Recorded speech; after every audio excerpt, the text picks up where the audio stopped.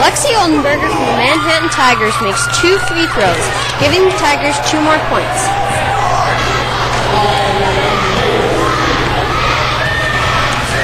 Justine Taylor from Belgrade makes her first free throw.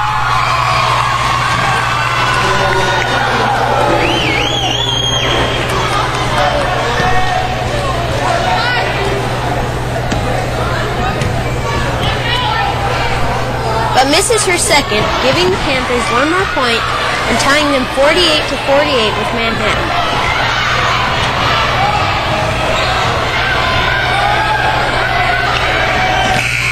At the end of the game, Amanda Hayden made a three-pointer from the top of the key to give the Panthers the win, 57 to 54 against the Manhattan Tigers.